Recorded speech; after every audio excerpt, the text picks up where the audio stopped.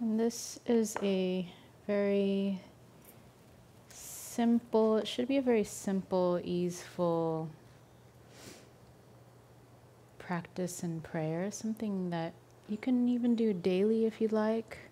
I've been doing these at every moon cycle, so every new moon and full moon. I do it in the honor of the cycles of seeding new life, new ideas, creativity, and also letting things die and transform.